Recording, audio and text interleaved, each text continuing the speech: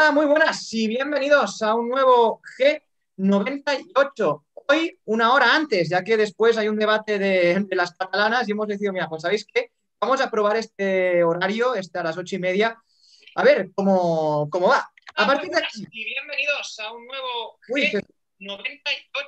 Me escucho, una hora antes, ya que después hay un debate de, las catalanas y hemos decidido, ¿sabéis qué? Vamos a probar este horario. Una hora antes, ya que después ¿Vale? Perfecto. Ha sido. No, he sido yo, ¿eh? No he sido yo. A ver, em, qué rayada. En todo caso, siempre va bien empezar con alguna anécdota. Empezamos, pues, em, con, bueno, diciéndonos que hoy hablaremos de la monarquía y de la república y hablaremos del modelo de Estado en España. Y hoy, bueno, en España o quien considere no en España, y también a partir de aquí, pues los diferentes tertulianos y tertulianas, pues básicamente hoy hablaremos del futuro, porque esto es un tema de futuro y a veces también de presente. Conmigo, como siempre, está aquí Jaime. Muy buenas, Jaime, ¿qué tal? Hola, Joan, ¿qué tal? ¿Todo bien? Una semana más por aquí. Sí, una semana más. Llevamos ya unos cuantos y siempre avisaros que este es un debate constructivo, un debate propositivo, un debate donde lo que buscamos son los puntos comunes. Así que a partir de aquí, pues bueno, ya sabéis, en el chat pues iremos muy pesados y el otro día tuvimos que borrar algún comentario y esperemos que hoy no pase. A partir de aquí, pues empezamos ya con las presentaciones y como siempre Jaime empieza con estas presentaciones. Bueno, pues eh, voy a empezar presentando a Pedro González desde las Nuevas Generaciones de Sevilla, presidente de las Nuevas Generaciones de Sevilla. Bienvenido, Pedro. Muchísimas gracias por venir. Hola, buenas tardes a todos. Con nosotros también tenemos a María Such de las Juventudes Socialistas de España, vicesecretaria. Muy buenas. Hola, buenas noches. Luego, desde eh, Murcia, tenemos a eh, Gloria Montoro, desde Jóvenes Ciudadanos. Bienvenida, Gloria. Hola, buenas noches.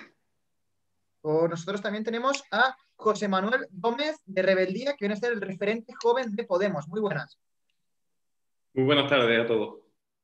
Y desde Vitoria tenemos a Álvaro Castillo, desde EGI, las eh, Juventudes del PNV. Bienvenido, Álvaro. Gabón, muchas gracias por la invitación. Hoy también con nosotros tenemos a Ramiro Gil, la Alternativa Republicana, ya que es un debate que hablamos, que monarquía república, pues tiene que venir la Alternativa Republicana. Muy buenas, Ramiro, ¿qué tal? Hola, buenas noches, encantado de estar aquí. Y para finalizar tenemos a Tony García Pérez desde Barcelona de Izquierda en Positivo. Buenas noches, buenas noches, Tony. ¿Qué tal? Buenas noches, bien hallado. Gracias. Pues muy bien, a partir de aquí vamos a empezar el primer bloque, un primer bloque que sea claro, conciso y directa, y con una pregunta que también es clara, concisa y directa. es que básicamente, em, ¿es la monarquía positiva para España? Muy bien, con el mismo orden que hemos eh, utilizado en las presentaciones, pues ahora tienen nuestros tres un minuto con 40 para decir su punto de vista y a partir de aquí después habrá unos 30 segundos si se quieren responder o quieren añadir alguna cosa también a, sus, bueno, sus ideas o lo que han comentado en el primer turno. ¿Sabéis? Ordenados, como siempre, vamos y empezamos con Pedro. Bueno, pues buenas tardes a todos. Encantado de, estar aquí con vosotros y respondiendo a, a pregunta claro y conciso. ¿Es la monarquía eh, buena para España? Pues sí, eh, claro, y, yo creo que podríamos acabar aquí.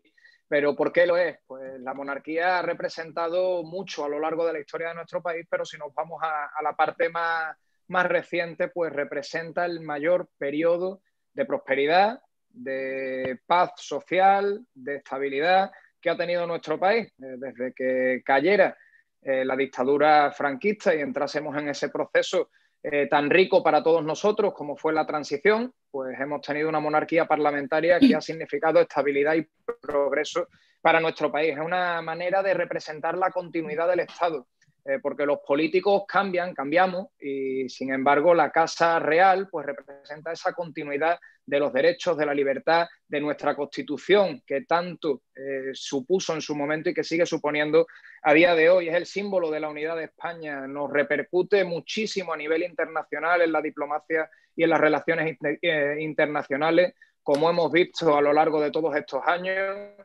donde nos abre la puerta eh, a los encuentros con muchísimos países. Somos un referente en Latinoamérica, somos referentes a la hora de reunirnos con otras monarquías.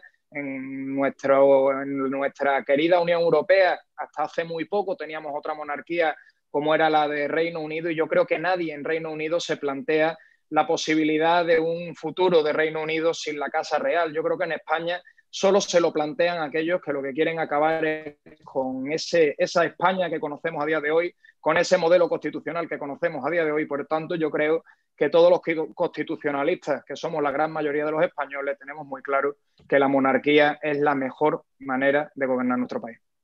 Muy bien, pues gracias, Pedro. 1.40 exactos. ha, sido, clavado. Muy bien, pues vamos con la segunda intervención, que es para María Such.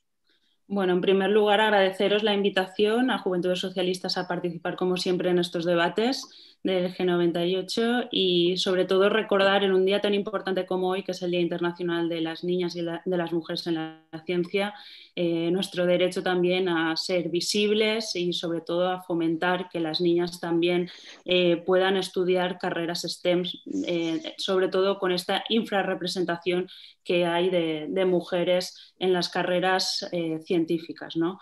En este sentido, y, y, justo vinculándolo con la pregunta, la monarquía fue positiva para España, eso yo creo que es innegable que tuvo un periodo en el que eh, ayudó y tuvo un papel relevante para, el momento de la transición eh, de una dictadura a la democracia en nuestro país, en la figura de Juan Carlos I, ahora bien, bien cuestionada y que incluso eh, sorteó y evitó un golpe de Estado ¿no? que, podría haber supuesto el retroceso ¿no? de nuestro sistema democrático.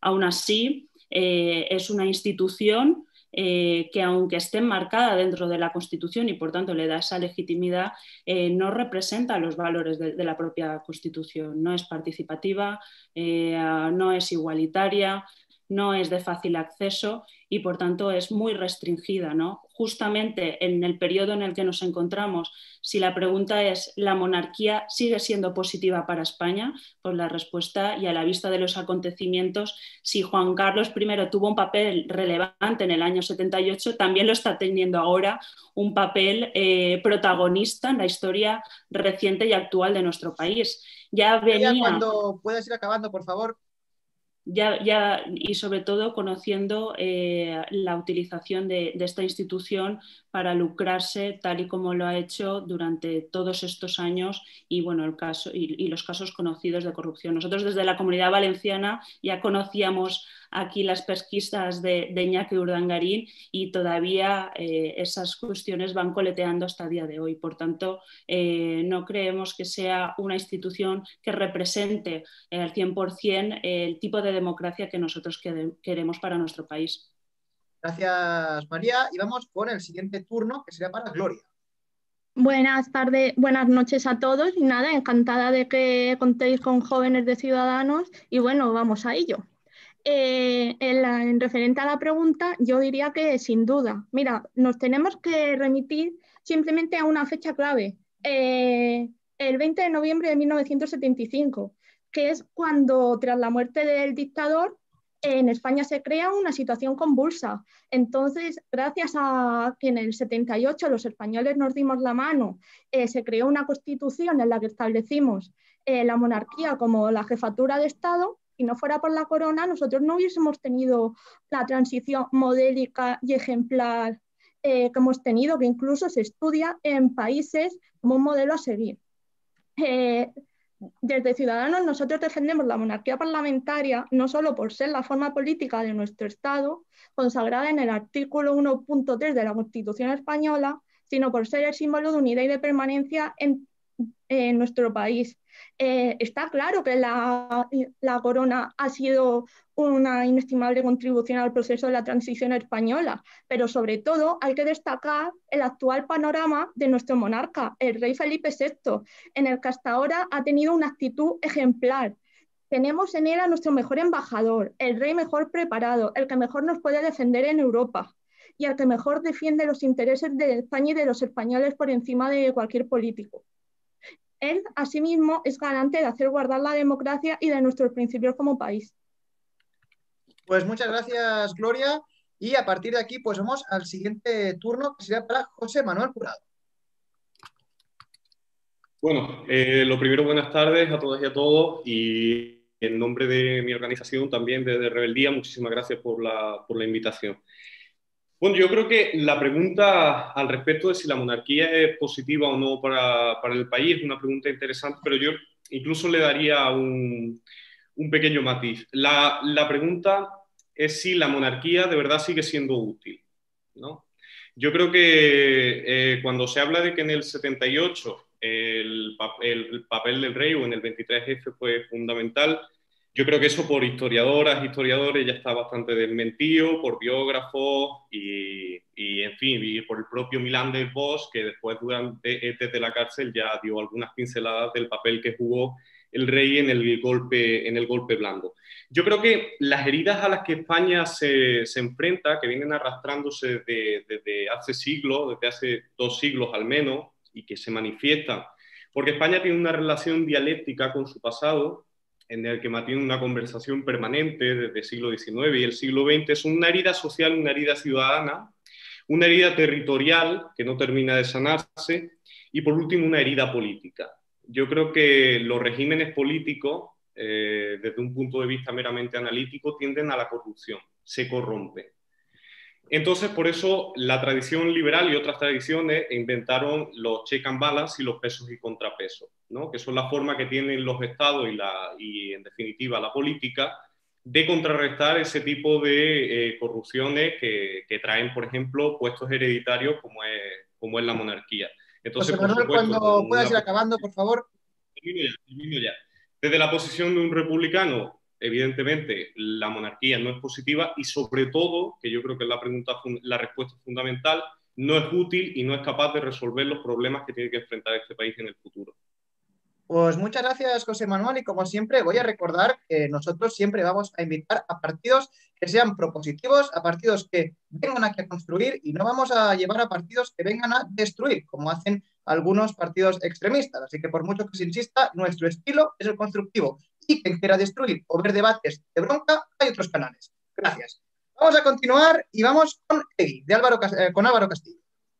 Hola, muchas gracias por la invitación de nuevo. Estamos muy contentos de estar aquí y de que contéis con nosotros para estos debates que también nos gusta este tono constructivo que creemos que, siempre puede aportar. Bueno, nosotros como EGI, como Juventudes del Partido Nacionalista Vasco, a lo que aspiramos es a la liberación nacional de Euskadi y al progreso social de nuestro pueblo. Y eso pasa necesariamente por una república vasca. En cualquier caso, el marco institucional actual en el que, en el que estamos, en el que participamos, no nos es ajeno. Ejemplo de ello es nuestra participación en los presupuestos generales Estado, nuestras propuestas para derogar la ley Mordaza y otro tipo de aportaciones que venimos haciendo y que, y que son conocidas. Y también en este tema queremos ser propositivos.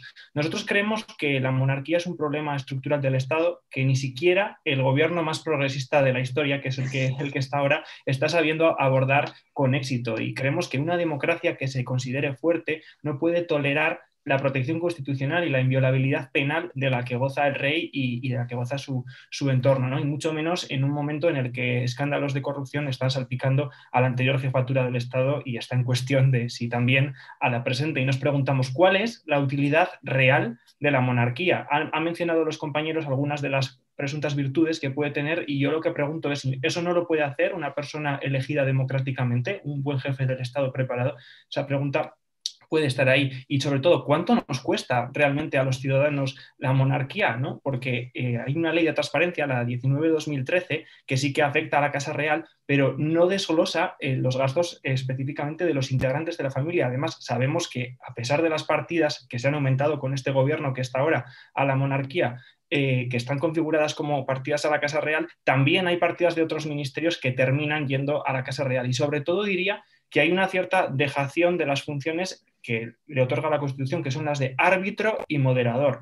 Esto no es lo que vimos en el mensaje que, dio Felipe VI el 3 de octubre, después del referéndum del 1 de octubre, que no era para nada conciliador, para nada de árbitro y más que árbitro, pues parecía juez y parte. Álvaro, se te está acabando el tiempo. Termino. Y finalmente, yo creo que una figura de árbitro y moderador, sea elegida democráticamente o no, lo que tiene que hacer es abordar los conflictos como los políticos y territoriales que, sufre España y sobre todo lo que no es tolerable es ver a miembros de la familia real como, como Felipe Juan Froilán en Colón manifestándose contra el gobierno y significándose políticamente. Muy bien, pues muchas gracias Álvaro y vamos también con Ramiro. Hola, buenas eh, noches y muchas gracias por habernos invitado. Es una oportunidad que no solemos tener los partidos no parlamentarios. Eh, la pregunta sobre si la monarquía es positiva es demasiado compleja como para responder en un minuto cuarenta. pero digamos que lo voy a intentar, ¿no? vamos a ver, de alguna forma, la monarquía que, que, nos hemos encontrado en España es la única que, hemos podido comprobar cómo ha funcionado, es la única forma de gobierno que hemos podido comprobar cómo funciona. No podemos saber si con una república nos hubiera ido mejor, ¿no? Pero en cualquier caso, eh, la, monarquía española eh, tiene una serie de problemas eh, graves. Yo creo que ninguno de mis compañeros ha, llamado la atención sobre todos los casos de corrupción que se están conociendo sobre, sobre la Casa Real. Pero ya no solo se trata de, de la actuación personal del rey emérito o del actual eh, rey, si se descubre algo más, que yo creo que puede ser que se descubra, o de la propia utilidad de la monarquía eh, como institución, eh, o no funcione en este país o en otros, sino más bien creo que la monarquía española tiene un problema particular de origen, de falta de legitimidad derivada de una vinculación bastante estrecha con lo que había sido la dictadura franquista. Entonces, desde el punto de vista democrático, decir que la monarquía ha sido positiva para España cuando ha sido una institución impuesta a los españoles, eh, cuando los españoles no han podido decidir eh, sobre qué régimen querían durante la transición, puesto que el referéndum que hubo constitucional fue coaccionado en un momento de extremo miedo y saliendo de una dictadura. Em, claro, entonces, como todos sabemos, el, actual rey es el sucesor de una, persona, de una persona nombrada directamente por el dictador Francisco Franco, heredero de sus poderes y que, bueno, tuteló de Ramiro, cuando puedas ir acabando, por favor. Tuteló de alguna forma la transición según los intereses de unas élites franquistas con la colaboración de, de la oposición democrática. En cualquier caso, si puede terminar de explicarlo más adelante. Muy bien, pues muchas gracias. Vamos con el siguiente turno, que será para Tony, que tiene este 1.40. Vale, eh, bueno, yo ya casi me, gustaría responder un poquito, ¿sabes cómo soy, Joan? Que me gustaría responder un poquito a los demás partidos. A ver, al, señor, al chico del PP, eh, de las nuevas generaciones, hay que marcar una cosa muy clara. Es que el rey reina, pero no gobierna. No gobierna, reina. Entonces, ¿quién gobierna? ¿Quién es? Si no es el presidente del gobierno. Entonces, lo digo porque ha habido mucha resonancia sobre eso. y claro, sí que es verdad que el rey podría haber, o es un, buen embajador y a título, a título permanente, ¿no? Y además, además ejerce unas funciones eh, internacionales que pueden ser muy buenas o muy malas, depende de cómo se mire, relacionadas con el tema malo, con la corrupción. Pero claro, ¿quién sería un buen embajador para España? ¿Estamos realmente preparados para tener unos realmente embajadores de España eh, internacionalmente? ¿Quién sería? ¿Pedro Sánchez? Uf, me río. ¿Pablo Iglesias? Me río todavía más.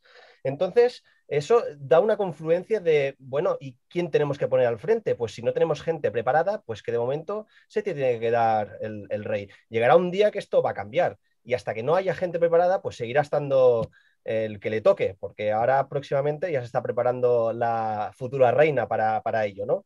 Entonces, eh, ¿es buena para España? Sí, en momentos clave lo ha sido, eh, ya obviando ya el pasado, incluso el día 3 para Cataluña fue muy bueno que el rey dijera algo, porque todo el mundo, mucha gente estaba esperando que el rey dijera algo. Sin embargo, eh, las funciones que nos, la herencia que nos ha dejado el rey emérito tampoco son muy buenas. Entonces, ensucia la corona. Yo, creo que preferíamos más un, gobierno o un país más republicano, pero una buena república. Y quizás el rey, el rey actual no, no, no, puedo decir nada aún, de momento, pero por lo que hemos, la herencia que nos ha dejado lo anterior, pues no es muy buena. Veremos, el futuro aún está por escribir. Gracias, Tori, también 1.40 exacto. Y vamos con ya el segundo turno de palabra, esta respuesta de unos 30 segundos. ¿Pedro ha llegado o qué? Sí, sí, he tenido unos problemas técnicos. Cosas del directo. Bueno, no pasa nada. Pues, pues tus 40 segundos, mira, ha sido llegar y empezar.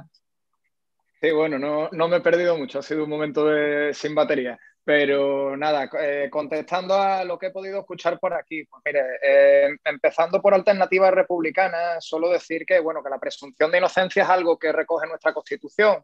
Eh, hablar de la figura del rey emérito, que me imagino, y confiando en el Estado de Derecho, se aclarará cualquier sospecha, pues de momento todos somos inocentes hasta que se diga lo contrario por un tribunal. Decía el representante de Guin eh, que no le gustaba el mensaje de Navidad del Rey. Claro, es que cuando hay partidos, lo decía al principio, que no están de acuerdo con el sistema que tenemos actualmente o en su totalidad, pues es normal que no le guste un mensaje de unidad y de eh, vigencia plena de la nación española y de la Constitución española. Eh, decía el representante de rebeldía que la monarquía tiende a corromperse. Bueno, tienden a corromperse, yo siempre lo he dicho y así le contesto también a la representante de Juventud Socialista. Yo creo que quien se corrompe son las personas por su naturaleza y, y, si cada uno que pasase por la corrupción estuviese, cada partido estuviese corrompido, pues entonces a lo mejor aquí en Andalucía habríamos acabado con quien gobernó durante muchos años. Muy bien, pues muchas gracias y vamos con María, con estos 30 segundos. Bueno, eh, respondiendo un poco a la última alusión, ¿no? Yo creo que todos los partidos eh, más o menos democráticos y representados hoy aquí en esta tertulia sabe muy bien cada uno cómo afronta eh, los procesos de, corrupción ¿no? y, de, qué manera exige responsabilidades a las personas que puedan estar inmersas en ello. Justamente en el caso de, de la corona, y aunque hay tres tres investigaciones por, eh, fiscalía, por blanqueo de, capitales y evasión de capitales, eh, confiando en, este sistema de división de poderes y confiando en la justicia, veremos dónde nos lleva todo esto. Aún así, la sospecha, la duda eh, sigue estando. María, estás también sin tiempo de las cabezas de, del anterior monarca sobre todo y es algo que en una institución tal y como la monarquía eh, solo podemos esperar exigir responsabilidades a través de la justicia porque eh, no es como el resto de partidos que sí que, que sí que pueden actuar en estos casos.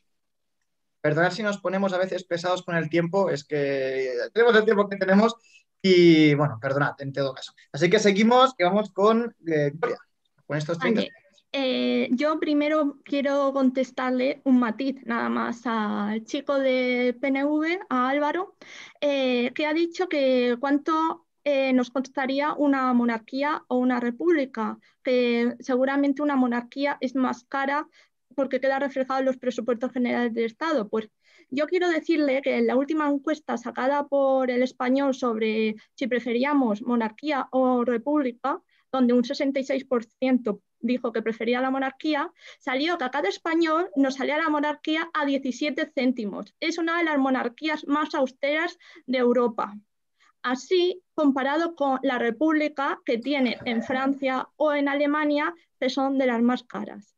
Y por otro lado, también quería responder en general que se habla mucho de la corrupción. Gloria, se te está acabando el tiempo. Bueno, nada, que se habla mucho de la corrupción y lo que hay es que diferenciar a las instituciones de las personas, nada más.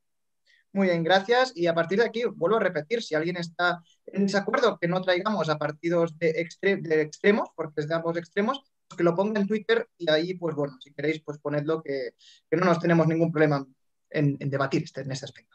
Así que, que vamos con el siguiente y eh, sería José Manuel.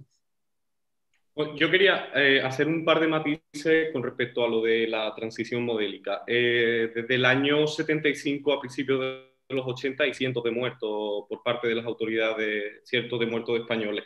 Y el año 77 es el año con más conflicto, con más conflictividad laboral del siglo XX. Digo, por, por poner las cosas un poco, un poco en su sitio. Sí que el rey actual ya ha demostrado grande, una gran querencia ese, a, bueno, a comportarse de manera parecida a su padre. Ya hacía un año, cuando saca el comunicado, en la segunda semana del confinamiento, hacía un año que sabía de la, de la fortuna de su padre y del, del, dinero no declarado de su padre. Lo reconoce él en el mismo escrito. O sea que, y respecto a lo que ha comentado el compañero de nuevas generaciones del PP, no he dicho que las monarquías tiendan a la corrupción, he dicho que todos los regímenes políticos tienden a la corrupción, no lo digo yo, es una ley sociológica. Por eso los pesos y contrapesos... Termino ya. Los pesos y contrapesos que tienen Alemania y Francia, aunque pueda salir más caro la República, que eso habría que verlo, eh, con todo lo que se ha desfalcado, habría que verlo, eh, esos pesos y contrapesos impiden o ponen freno a esa corrupción. Gracias, José Manuel. Y vamos con Álvaro. Sí, yo en primer lugar comentar que no me refería al discurso de Navidad del Rey, ese no lo he visto, nosotros en Euskadi no lo vemos en su mayoría, el, al que me refería es al del 3 de octubre y lo que me preocupa es que en muchos casos parece que ni siquiera se aspira a representar a, todos los representantes del Estado, ¿no? Y eso igual explica cierta orientación política y del contenido de los discursos del jefe del Estado y la permisividad de ciertos partidos de derechas que tienen con la corrupción que está alrededor de la monarquía. Y también quería comentar que la mejor encuesta no es la que haga un medio de comunicación, sino que el mejor termómetro de la sociedad, de cualquier sociedad madura, que no debería ser traumático preguntar ni sobre monarquía república ni sobre el estatus político de las naciones que están ahora mismo dentro del Estado español. Álvaro, se te está acabando el tiempo también. Decía que el mejor termómetro es un referéndum y que no es nada traumático preguntar, simplemente es tratar a las sociedades con madurez. Pues gracias Álvaro y vamos con Ramiro en estos 30 segundos. Bien, en la monarquía española hay también un problema de opacidad. Se habla de que la monarquía española es la más austera de Europa, cuando en realidad no conocemos realmente cuáles son los gastos reales de la, monarquía, puesto que los palacios, viajes, fiestas, regalos, etcétera, no aparecen en esos presupuestos, van a cargo de patrimonio nacional o de, otros, o de otras partidas. ¿no? Eso sería uno de los muchos problemas que tiene la monarquía. Pero volviendo un poco a lo que quería explicar al principio, eh, la realidad es que eh, la monarquía, en el momento de la transición, nosotros no compartimos esa visión idealizada, de alguna forma sirve para construir un régimen, el régimen que tenemos ahora mismo, el que llamamos régimen del 78, que básicamente ha demostrado una serie de problemas que se están destapando ahora mismo. Está el problema territorial, está el problema de la corrupción institucional, ¿no? solamente tiene que ver con los partidos políticos, también está en la Casa Real y está en muchas otras instituciones. Estamos viendo cómo el ejército sigue siendo una institución formada por militares que no fueron eh, democratizados de alguna forma. Se pasó de un ejército ultra a una... A Ramiro, se te acabó el, tiempo. Pues bien, pues muchas gracias, Ramiro. Vamos ya con Tony, que será el último de esta primer bloque.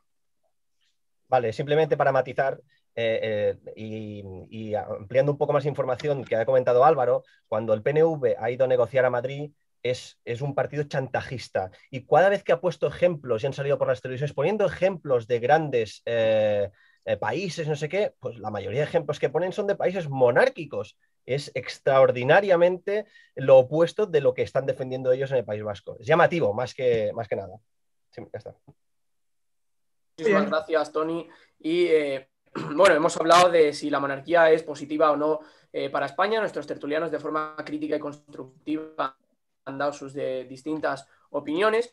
Y ahora entramos en el segundo bloque que eh, constará de un minuto y medio, seguiremos el mismo orden. Y la pregunta es, eh, ¿qué, ¿qué, modelo de Estado sería el adecuado para eh, nuestro país? Al igual que en el primer bloque, podéis responder a la pregunta y a la vez también podéis responderos a los distintos entre vosotros. Así que nada, comenzamos con, con Pedro y tenéis un minuto y medio. Adelante, Pedro. Bueno, ya lo, decía en, el, en el primer, eh, la primera intervención. Yo creo que el modelo que tenemos actualmente es plenamente vigente. Creo que representa perfectamente los intereses de los españoles en su gran eh, mayoría. Eh, antes se ha señalado cómo eh, se ha preguntado muchas veces en encuestas cómo se han hecho estudios sociológicos donde se ve que los españoles en su gran mayoría apoyan a la monarquía y al igual que pasa con la Constitución, su vigencia es plena desde el momento en el que se aprobó. Por tanto, yo creo que una casa real en nuestro país solo trae ventajas. Por supuesto, ha tenido momentos críticos y sobre todo en los últimos meses. Entiendo que haya eh, se haya salpicado por la duda, por la sospecha pero la propia Casa Real ha ido depurando esas responsabilidades. De hecho, a día de hoy el rey emérito está apartado de toda actividad y de momento, y antes defendía su presunción de inocencia, hasta que no se eh, diga lo contrario por la justicia, tenemos que decir que el rey es inocente y que de momento solo hay indicios eh, que ningún fundamento de momento jurídico tienen para que sea imputado. Eh, y dicho esto, las ventajas que había anunciado antes, esa eh, fuerza que nos da la Casa Real, eh, tanto a nivel interno como a nivel externo, yo creo que no la podríamos tener con ningún otro sistema. Se ha hablado de la opacidad de las cuentas. Antes se ha dicho un dato, 0,17 euros por habitante es lo que nos cuesta la corona, 25 veces menos de lo que cuesta, por ejemplo, la República Italiana. Si estamos hablando de coste, la monarquía a favor. Si estamos hablando de importancia política, la monarquía a favor, y si estamos hablando de la unidad de España y de la defensa de, la de, de derecho, por supuesto a favor de la monarquía. Vale, pues muchas gracias, Pedro. Y ahora eh, doy paso a María. Adelante, María. Bueno, pues nosotros desde Juventudes Socialistas defendemos un modelo de Estado republicano y federal. Queremos un, uh, un modelo en que nuestros representantes eh, sean elegidos por la ciudadanía, que eso les, da legitimidad y ofrece más calidad democrática a nuestro país. Por supuesto también que las instituciones que las conforman eh, estén libres de corrupción creo que es una lacra que tenemos en este país y por tanto también como buena democracia tenemos que poner los mecanismos a disposición para depurar estas responsabilidades y que no quede ninguna institución libre de estas responsabilidades como puede ser en este caso eh, la Casa Real. Queremos elegir, queremos eh, decidir, queremos que las instituciones eh, sean igualitarias, inclusivas, accesibles y participativas por la ciudadanía. Yo creo que nuestra generación no pudo votar en su momento la Constitución del 78, no pudo elegir eh, el sistema ni tampoco las instituciones que la integraban y nosotros sí que somos somos la mejor eh, generación preparada. No solo es el rey Felipe eh, gracias a sus galones o a sus posibilidades dentro de, la Casa Real, ¿no? sino que nosotros sí que somos la generación mejor preparada y con menos oportunidades. Y por tanto, claro que cualquiera eh, de nuestra generación podría, eh, en el caso de tener un sistema y todas las instituciones democráticas, poder postularse a ser elegido en un sistema republicano eh, de libre acceso. María? Vale, perfecto, muchas gracias. Y ahora doy paso a eh, Gloria. Vale, eh, aquí sobre cuál sería el mejor modelo de Estado para nuestro país, por mí Voy a empezar a colación de lo último que he dicho, de que no hay que mezclar eh, personas con instituciones, que es como han estado haciendo por parte de los últimos años eh, algunos partidos, eh, pues es que no hay que confundirlo. Un ejemplo de ello es que en, tenemos en nuestro rey Felipe VI que ha tenido un comportamiento ejemplar, renunciando a la herencia que le pudiera corresponder y suprimiendo la dotación económica que recibía hasta ahora su padre. Y bien, sobre el dudoso debate que aquí se pretende abrir sobre si nuestra monarquía es democrática o no, eh, cabe decir que existen también repúblicas democráticas o no, ya que tenemos claros ejemplos de lo uno y de lo otro. Eh, los que sí que podemos decir es que nuestra monarquía lleva el adjetivo de parlamentaria, que significa que no ostenta poder, que la soberanía reside en el pueblo, del que emanan todos los poderes y sirve únicamente como símbolo institucional.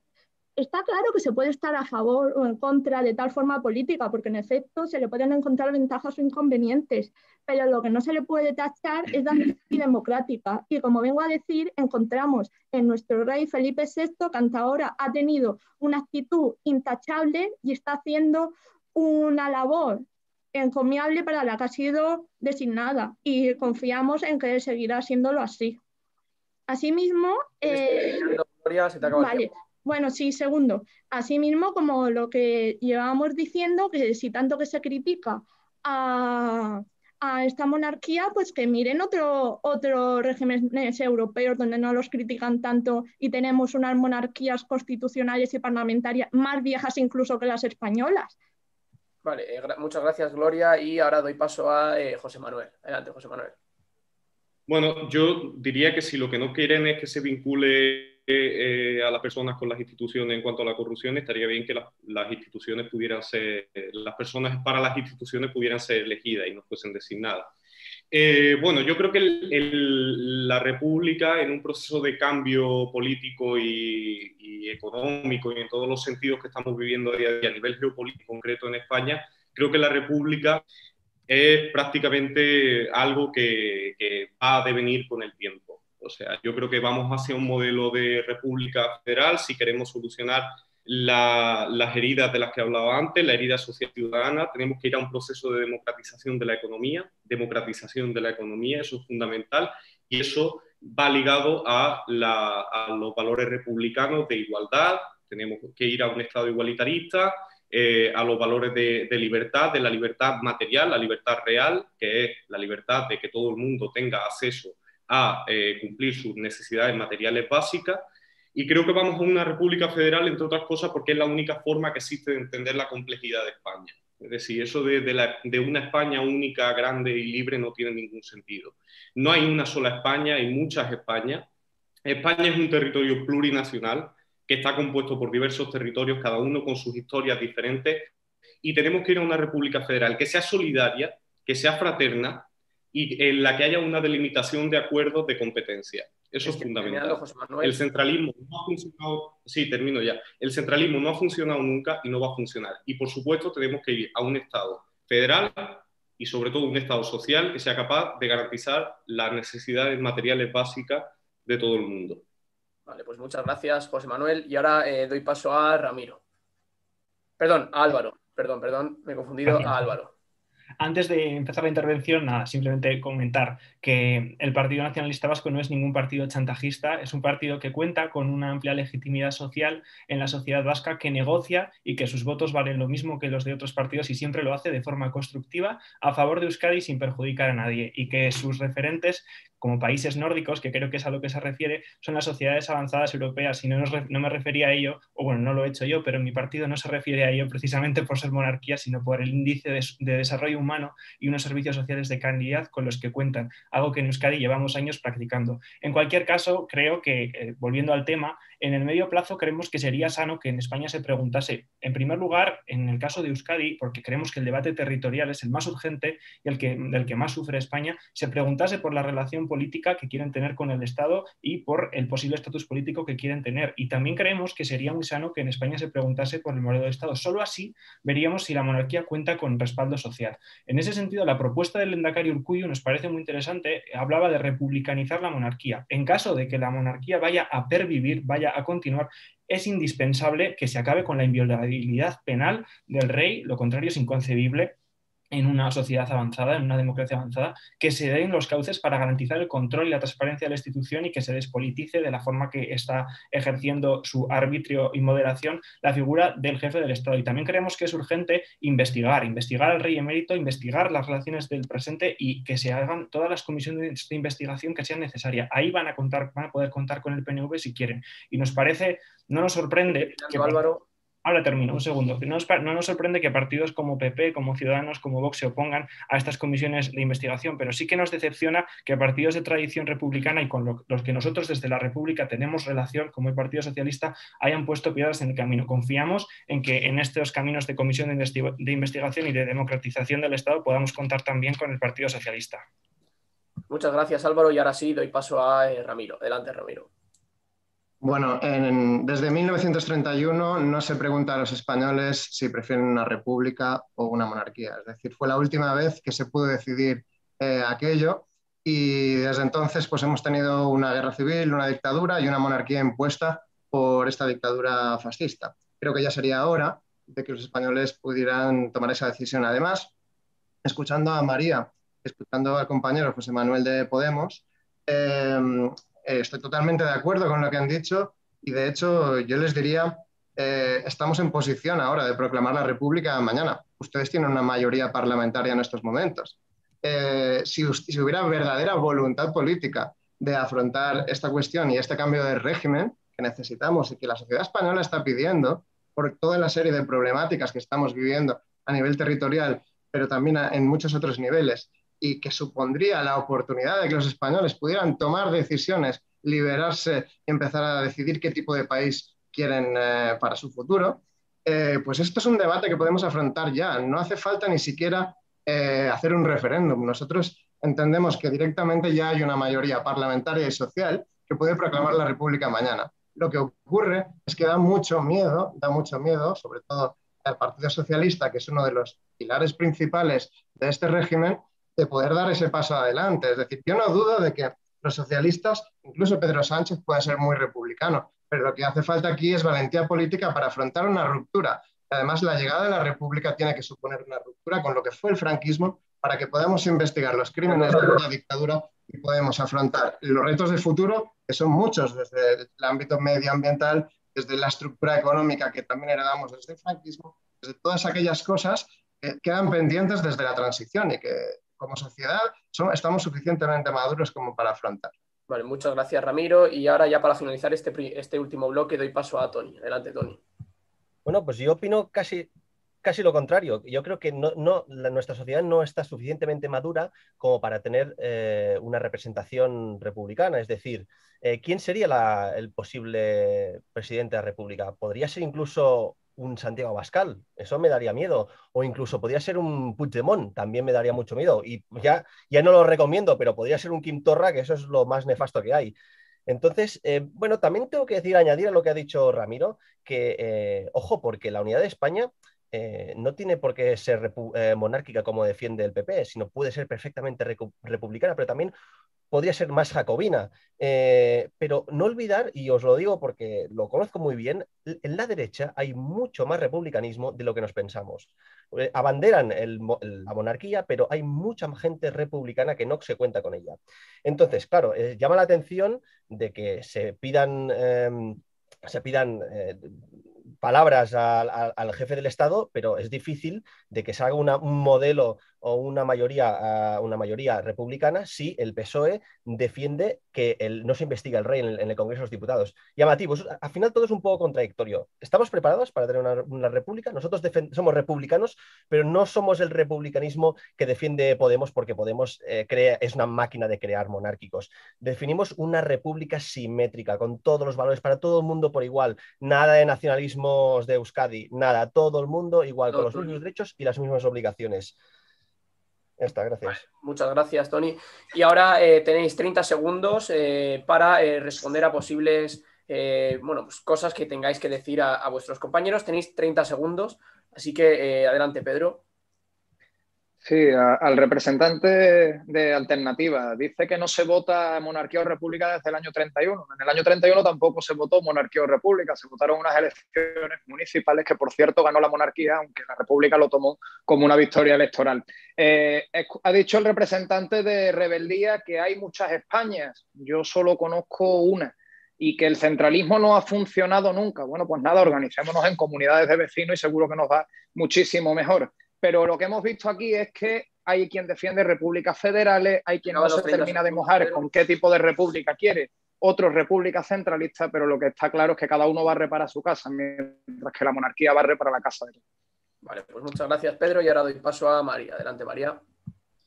Bueno, yo simplemente eh, esta distinción que se hace a veces entre personal e instituciones, ¿no? Yo creo que en este caso la persona en sí es la propia institución. Es que se ha visto, el, propio jefe del Estado ha utilizado su, su posición para lucrarse eh, durante todo este tiempo, eh, incluso sus propios familiares, en el momento incluso previos a la crisis económica, eh, ya existían indicios y casos de corrupción por los que ahora mismo están y siguen ejerciendo sus, sus responsabilidades, ¿no? Y muchos de ellos, pues Urdangarín y demás. Y ahora justamente también el rey emérito lleva seis meses el Juan Carlos I lleva seis meses fuera de España, eh, justo en el momento donde más se pone en duda eh, su figura y también la propia institución. ¿no? Yo creo que esto no es un gesto muy patriótico, sino todo lo contrario.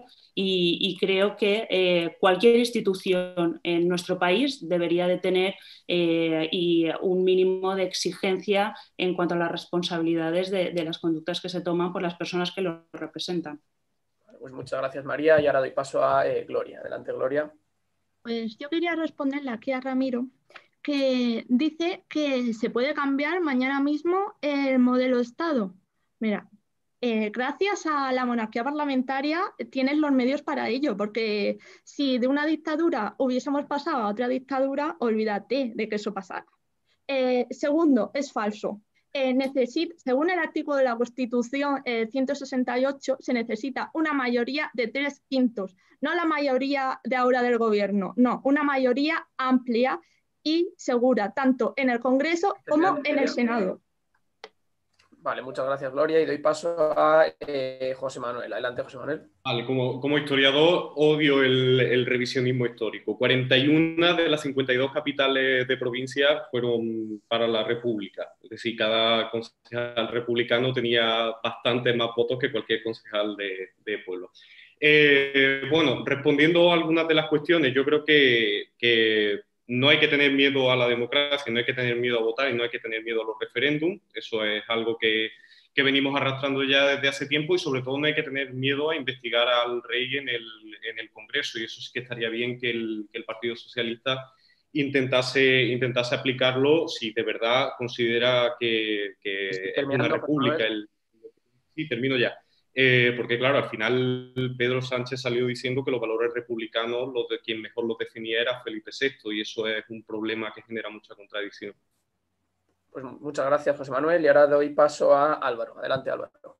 Sí, yo decir que el Partido Nacionalista Vasco va a estar ahí para aportar, para apoyar, como lleva haciendo 126 años, en contra del fascismo, eh, a favor de la paz y siempre a favor de la democracia. Y también en este debate estamos dispuestos a contribuir y, como venía comentando, es esencial que no se considere traumático preguntar a la sociedad ni sobre el modelo de Estado, ni sobre el modelo territorial, ni sobre ningún otro tema, porque es digno de sociedades maduras y salga lo que salga, si la, si la monarquía continúa, es esencial, como decían antes los compañeros, que el sistema de checks and balance se refuerce con más transparencia, con que se termine con la inviolabilidad penal. Es esencial fundamentalmente que se democratice la institución y con ello también el Estado.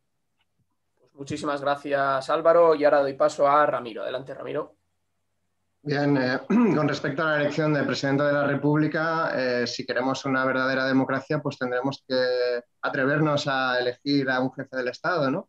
Eh, no tener uno inviolable como ahora, que puede cometer cualquier delito y no ser investigado, que es esta la principal razón por la que en España nos está investigando al rey emérito, ¿no? Eh, pero aparte de esto, pues eh, podemos encontrar eh, sistemas perfectamente democráticos como una elección del presidente a doble vuelta, como puede ser, por ejemplo, el sistema que se usa en Francia o en muchas otras repúblicas del mundo y funcionan perfectamente y, no pasa nada, ¿no? Y no hay que tener miedo a ese tipo de democracia.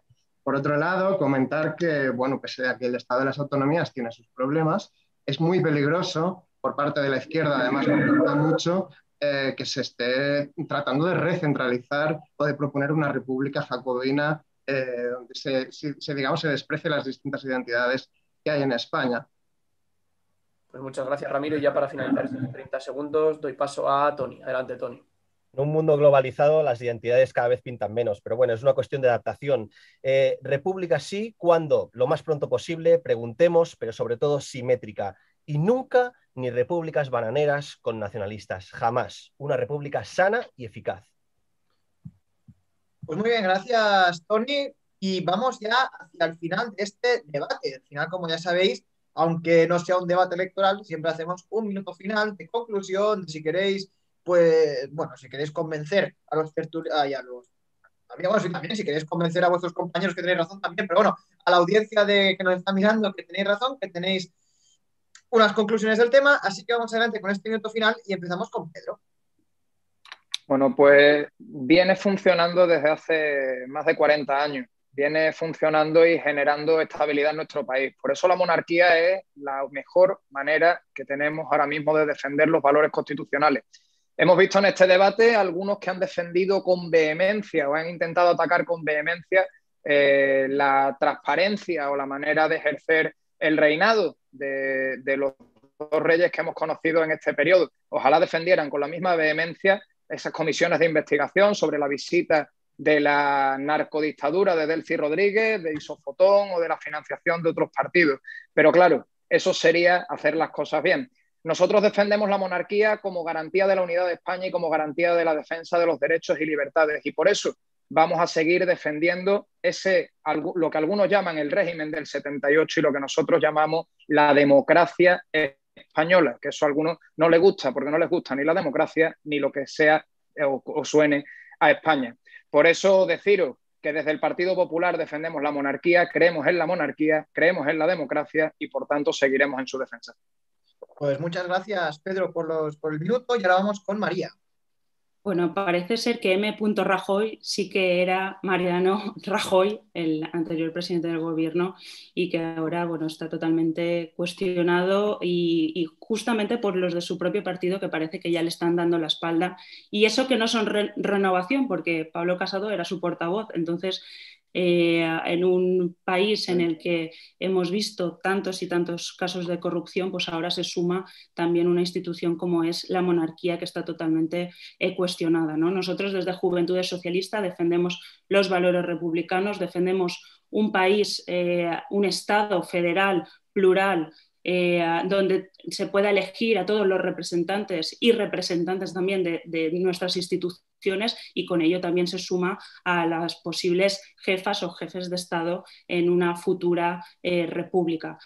Es cierto que nadie le quita el valor histórico de lo que fue eh, el periodo de transición, pero también es cierto que nosotros no pudimos participar de ello y justa el, mayor eh, hacedor de, republicanos y republicanas es la propia monarquía después de todos los casos que están saliendo y todo lo que vamos conociendo de estos últimos años desde eh, periodos anteriores a la inviolabilidad del, rey, incluso también periodos posteriores con todos estos casos de Corina Larsen, Villarejos, eh, Urdangarín. Creo que eh, hay una trama detrás que justamente tenemos que poder exigir responsabilidades y gracias a la división de poderes la justicia está en ello y hay abiertas tres investigaciones para depurar estas responsabilidades.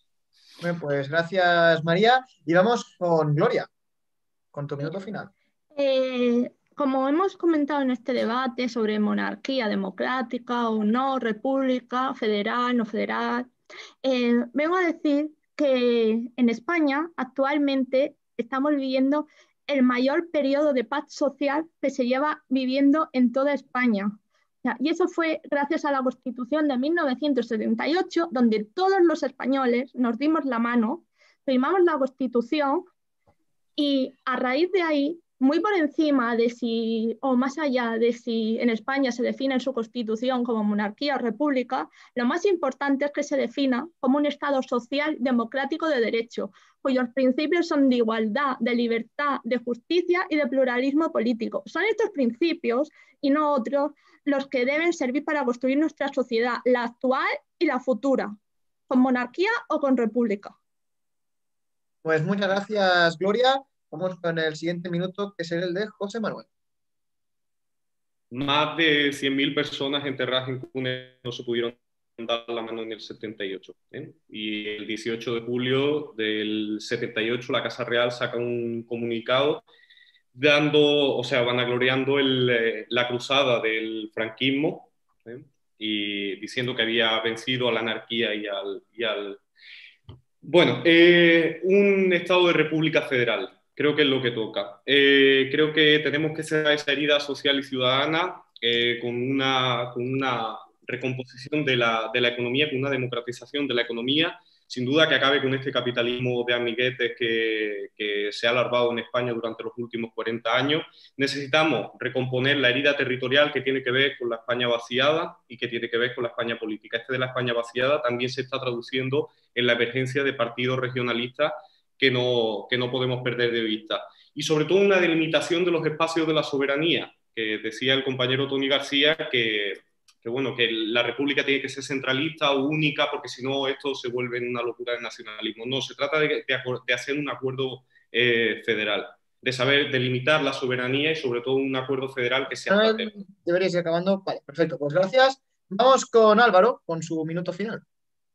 Hablaban los compañeros de paz social, de que la monarquía garantizaba paz social. Tan frágil es la paz social en España que no se puede preguntar por el modelo de Estado. Parece sorprendente, la verdad. También sorprende la permisividad de los grupos de la derecha en este debate para con la monarquía, que lejos de hablar de su transparencia o, de los casos de corrupción, que yo creo que, son innegables tal y como están aflorando en la institución, simplemente se limitan a decir que sí, que la monarquía, y, tienen razón, es garantía de, de unidad de España. Bueno, es simplemente sorprendente en ese sentido. Y decir a, los, a los grupos progresistas que no tengan miedo, que si este es efectivamente el gobierno más progresista de la historia, que tiene que afrontar las distintas crisis que España está sufriendo ahora mismo. Una de ellas, y la más grave, es, aparte de la sanitaria, por supuesto, la crisis territorial. Y otra de ellas es la crisis en el modelo del Estado. El Partido Nacionalista Vasco va a estar ahí, como siempre ha estado durante 126 años, de forma propositiva para poder seguir construyendo y para poder seguir mejorando las instituciones.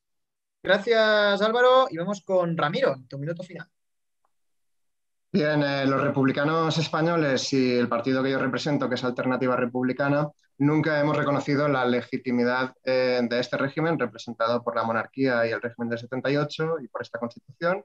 Eh, y nosotros somos un partido que vamos a seguir trabajando por una ruptura con este régimen, por el planteamiento de un proceso para iniciar una nueva constitución, un nuevo régimen en España que pueda ser decidido entre todos eh, que no sea de un partido, sino que pueda ser compartido por distintas sensibilidades, que responda a la realidad eh, nacional que hay en España, que es plural y diversa, y eso requiere un planteamiento que no puede ser centralista, tiene que ser federalista, y ahí podemos entrar en muchas discusiones, pero tiene que ser es el camino. Tenemos que hablar también de cuál es el papel de algunas de las instituciones que tenemos en nuestro país, la judicatura, la iglesia, que tiene que afrontarse un proceso de laicización de este país, eh, y todas esas reformas económicas y políticas que están pendientes desde hace tantos y tantos años. En cualquier caso, nosotros sí que hablaremos claro y si estamos en la calle y en las instituciones, vamos a trabajar por la Tercera República y para derribar esta monarquía que consideramos injusta, impuesta y antidemocrática.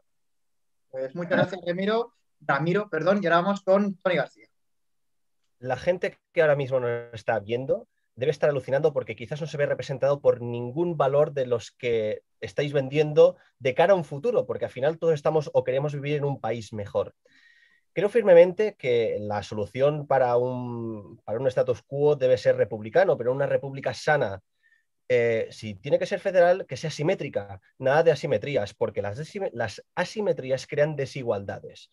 Y hemos tenido mucha corrupción con la monarquía, pero posiblemente si no guardamos esos parámetros, tenemos mucha corrupción en un futuro, en un, en un status quo asimétrico. Por lo tanto, creemos que la eficiencia pasa por ser más bien jacobino. ¿Por qué no? Es que además, además eh, ya por un tema de eficiencia y sobre todo por un tema de soluciones, y lo hemos visto muchísimo con la crisis. Creo firmemente de que podemos dar un salto de calidad y lo tenemos que hacer todos juntos, todos juntos y con igualdad para todos y para todas. Muchísimas gracias. Muchísimas gracias a todas las personas que eh, nos estáis viendo en directo. Si os ha gustado este debate crítico, constructivo de jóvenes, eh, os invitamos a que os suscribáis, ya que es la única manera de que nosotros tengamos apoyo y podamos hacer todo este tipo de contenido. Así que quiero dar las gracias a Pedro González de eh, Nuevas Generaciones de Sevilla. Quiero dar las gracias a María Sug desde Juventudes Socialistas de España de Valencia, a Gloria Montoro desde los Jóvenes Ciudadanos de, Madrid, de Murcia. A eh, José Manuel Jurado desde Rebeldía, Córdoba, a Álvaro Castillo desde EGI, las Juventudes del PNV desde eh, Vitoria, a Ramiro Gil desde Lleida, Alternativa Republicana, y a Tony García Pérez desde Barcelona de Izquierda en Positivo. Muchísimas gracias a todos y cada uno de vosotros que habéis venido hoy por dedicar esta tarde del, jueves a las ocho y media un eh, momento tan especial y tan bueno para toda nuestra sociedad como jóvenes. Así que nada, recordaros que eh, mañana estamos en eh, FF98 con el deporte, el sábado con un ratito deportivo. También tendremos junto a mi compañero Joan un especial en el que analizaremos las campañas de los distintos partidos políticos en Cataluña.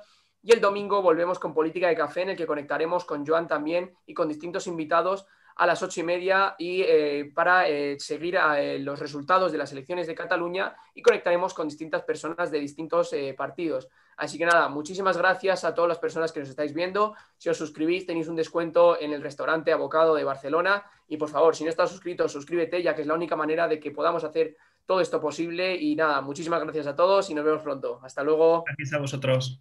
Mucha salud.